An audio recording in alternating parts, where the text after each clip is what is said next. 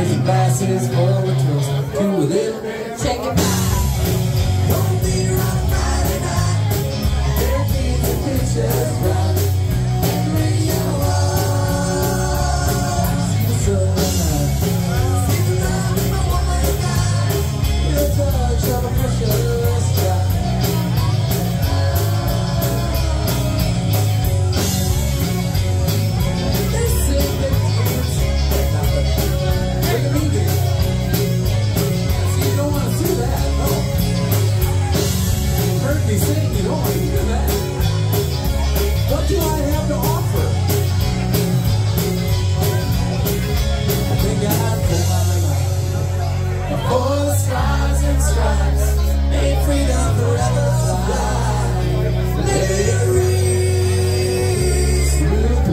Yeah.